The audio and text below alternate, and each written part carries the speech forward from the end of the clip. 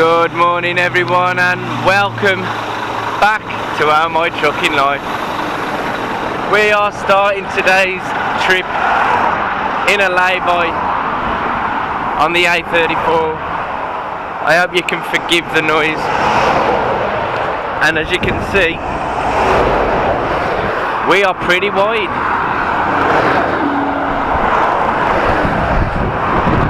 And in half the trees to keep the load out the road. uh, if you haven't already watched the previous video, go check it out to see how we ended up here. We are on our way to Worthing and I'll I'll have another check down there in a minute. I ain't taking you down there with me. it's bad enough last night. But um, yes, we are taking this lovely lot down to the south coast. Cinderella's looking a bit dirty. I'm feeling a bit dirty. And it's time to just get on with the day. It's half past seven now. Sorry if I'm shouting. Half past seven, we're not booked in till 10 o'clock. Um, we're only about 90 mile away, but yesterday evening it was saying it was like going to take an hour and 40 minutes. So I've gave myself at least two hours this morning because Chichester bypass, no good. No good any time of the day, especially this time. So yes. Oh dear. So we caught one of Bird's friends last night. Uh, uh, uh. Right. Okay, three tenors ready. Mini bird poo ready. Bird poo ready. All systems are go. Um, Google's telling me it's an hour and 45 minutes. A bit similar to last night.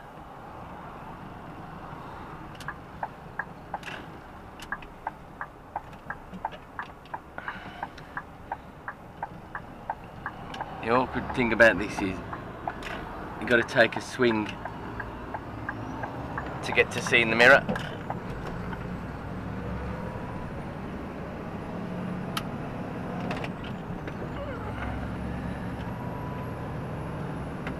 We'll move across for Eddie Stobart.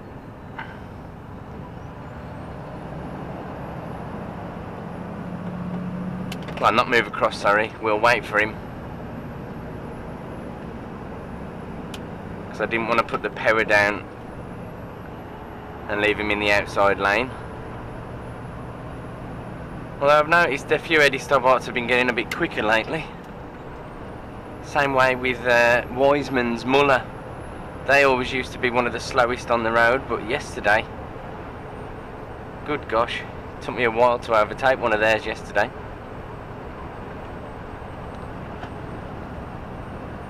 So yes, we are five miles away from the bottom of the A34 and that was as close as damn it I wanted to get without risking getting on the M3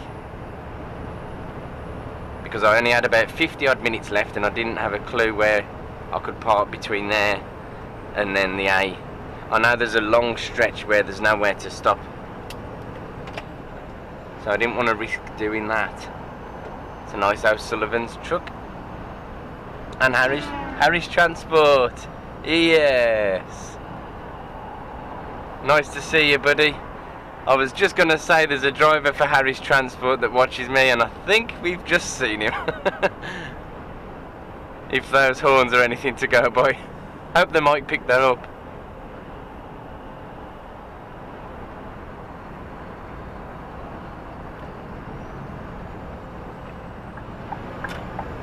That'll do there was a car just trying to shut the gap but I don't know if I've mentioned it well I haven't mentioned it for a while now but when you've got wide loads on you've got to remember that you've also got flashing lights at the back and this trailer in particular some of the others as well but if you've got something on the back of your trailer to get the attention of people such as the beacons, then it's going to divert people's attention away from the normal things that they see, like your brake lights, like your indicators.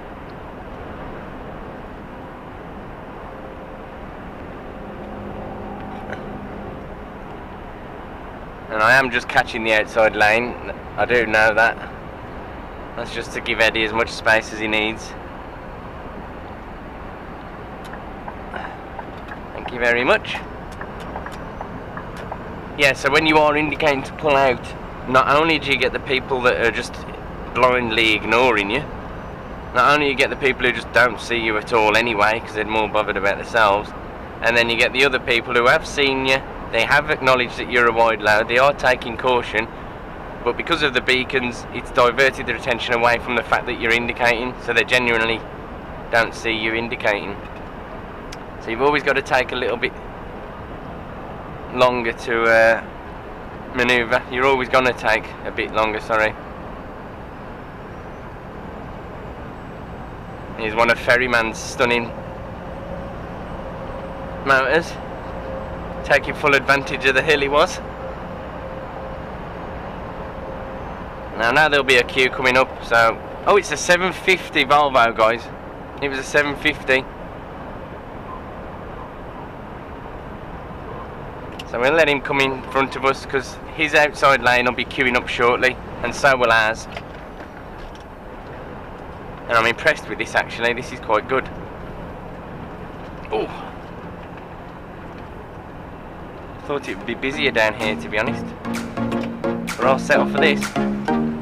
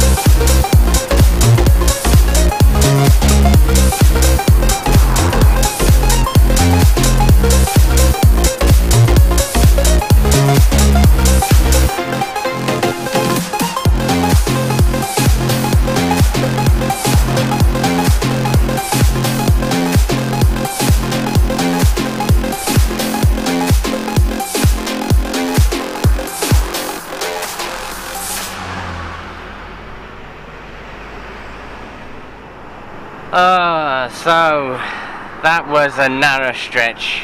It's the worst part of the journey getting down here, that is, I must admit. A little bit of a dicey moment, but fortunately it's not very sustained. It's just for about five minutes or so. Oh dear. Our colleagues not long found me. Gave us a bit of a heads up that he's delayed. Apparently there's a concrete lorry turned up at the same time as he did and he got he either went straight in before him. Actually no I think he'd got there just before him.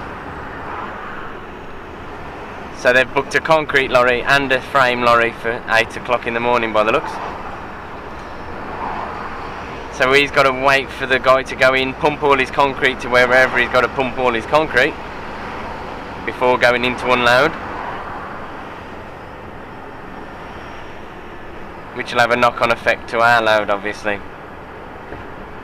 We're going to be getting parked up on the coast road in about 8 minutes time. Oh, no, I was gonna let him through, but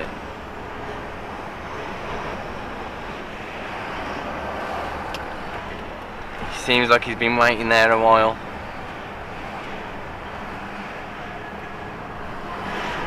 Did that have Macho Man Randy Savage on the front of that truck? Couldn't quite make it out.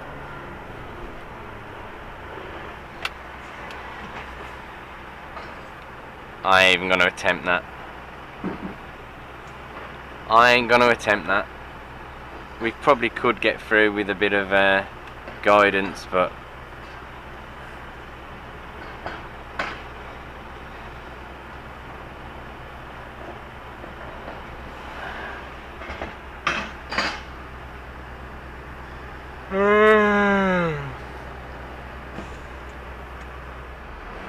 Goodness me.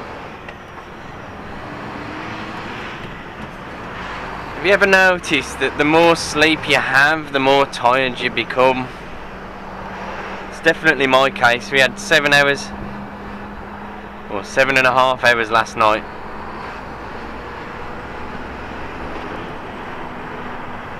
I can't stop yawning. Good yawning, good yawning, you're really good at yawning. This is another awkward road. We are on a movement order by the way as I'm sure you already know so we have to we have to take this route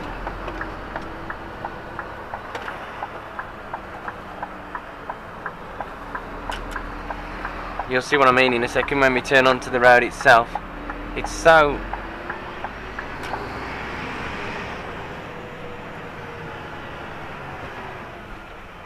so awkward.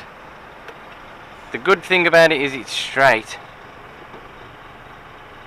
So you can see for I mean how what country is she from and what planet did she learn to drive on? I'm sat here flashing you through. I'm not gonna thank you. I'm sat at the end of the road flashing you to come on.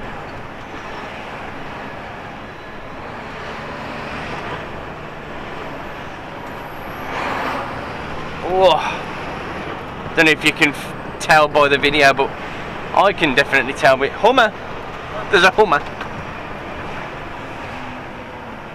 Ah, come on.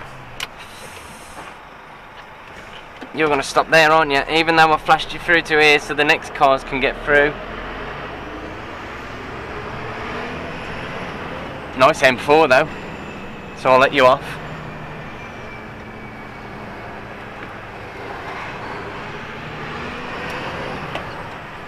And here we are. Worthing seafront. Beautiful. Porsche's had a bit of a dawdle there, so let me come out. Thank you very much. Well, I'm going to assume that was why.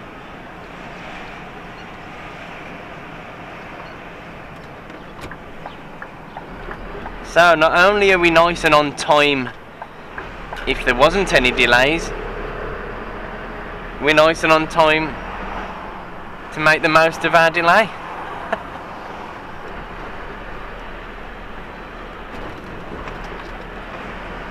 just hope I can find somewhere to park. I should have I should have just gone there in my first opportunity really. Dive bombing starlings. Uh, ah.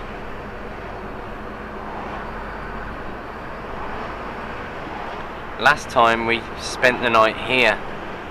I don't think we're gonna get here now.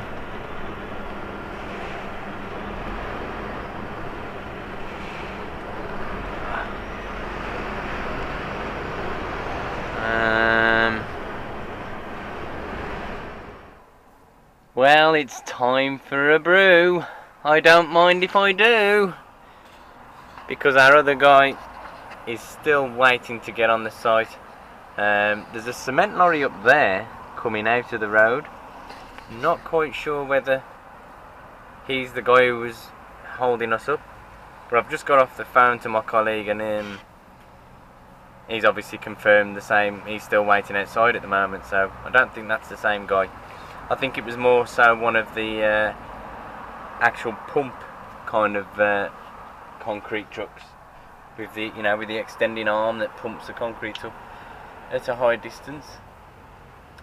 But um, yeah, if you see the last time I was down in Worthing, I'll try and link it down below if I remember to. We came here last on a Thursday evening. We arrived here about 2 o'clock in the morning. Uh, we'd had the Thursday off work and we got Worthing on the Friday and I'd rather have done it like that. Uh, I still um, I still had my day off, just had a few hours sleep and then came up here on the Thursday night rather than risk having Friday night stuck out on the road. It turned out to be quite good. We had a lovely day down here in the morning. We had a lovely chat with one of the locals. And it's simple and glorious. Um, so I was going to film outside, but there's someone walking past now. So we're not going to bother. Um, yeah, if you go and watch the video back there, I'll go into a bit more detail about what's down there. You can see the pier, the coast, the boats, the wind farm and all that jazz. We paid for three hours parking here on the front and our three hours is now expired.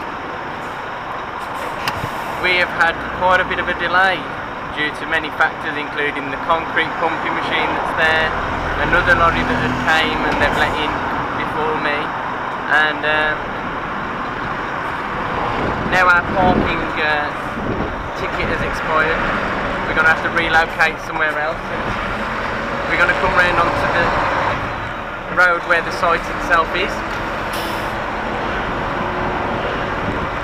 However the 12 o'clock delivery has turned up and it's from another company subcontracted to us and he's in a rush to get back up there today so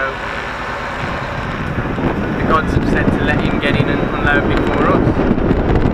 So we are moving down into the site itself we're just going to park outside the building site until we can get our access hoping to have parked just there, but it seems someone else has already gone there. So we're just going to go here for now, and then reverse up in front of the uh, tipper when he moves out of the way. Alright mate? Hour. Sorry? One hour must wait. Yeah, can you watch me just reverse to this? Yeah, no problem. Wait.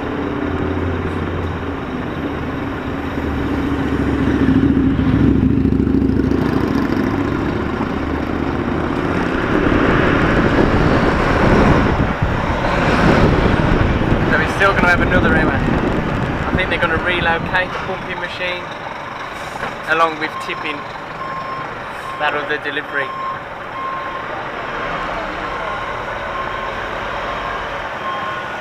Problem is,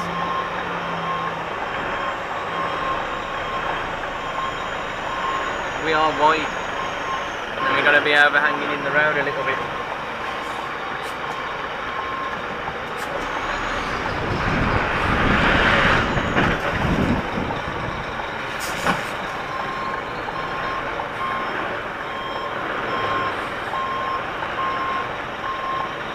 But there's not a lot we can do about it.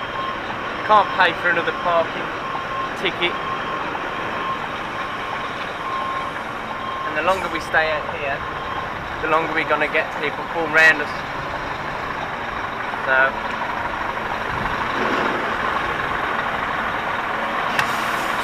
just gonna wait here.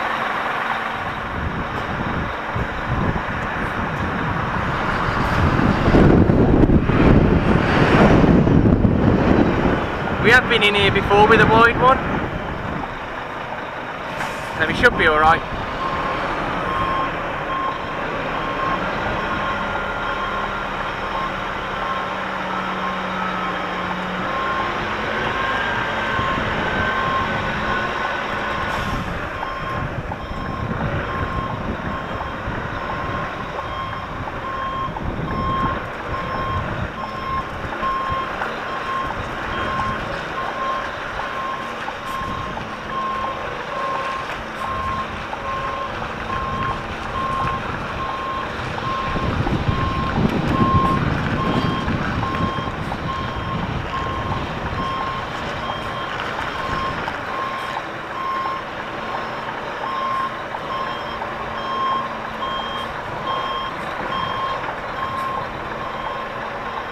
That is gonna be tight.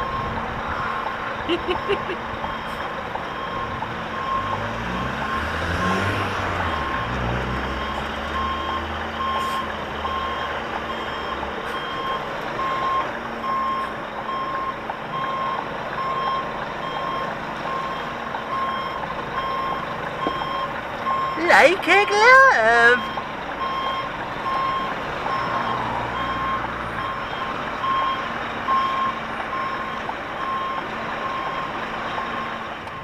Okay, well, I must admit. Cheers, mate. This is definitely not how we was expecting today to go. And fortunately we can just squeeze out there. It is now 10 to 3. So, bit of a bad day at the office in terms of deliveries and that. Those lights are on red, so he's going to have to wait. Ah. And the gods have just called me just to let me know that all we're going to be doing is heading back up for now, and we'll wait to hear from him later on. If if we do go back home, it'll be getting on towards. Uh, seven o'clock so he might just run us into our next place tomorrow. And these I don't remember coming past these buses as much. Last time I don't remember it giving me any trouble. I'll have to go back on the other videos and see if there's anyone actually parked there but that was quite narrow to be fair. And we're empty. But what I'm going to do to save any uh, any more boredom I'm going to end the vlog here um, we're just going to be heading back up north for the rest of the day predominantly. So I want to thank you all for joining me. Sorry there hasn't been too much happening, but hopefully I've made up for that with the uh, head cams and reversing into the sights and stuff like that. Once again, thank you all for watching, and I'll see you all next time, guys.